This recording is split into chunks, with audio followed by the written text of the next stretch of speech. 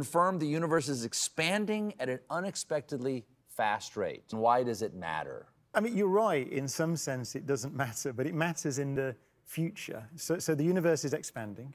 And we found out a few decades ago that it's accelerating in its expansion. So it's expanding faster and faster. Do we know we why? We don't really know why. So there's something called dark energy which dominates the universe. That's three quarters of the energy in the universe or so. Because we measure that the galaxies are moving apart from each other faster and faster.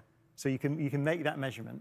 And then you infer, therefore, that something has got to be stretching space faster than we expected. So we're talking about Einstein's theory of general relativity. It's 1915. And that's a theory of something called space-time. This idea that space and time are kind of woven together into a fabric, that fabric stretches. First person to suspect that from the mathematics was a priest, a Catholic priest.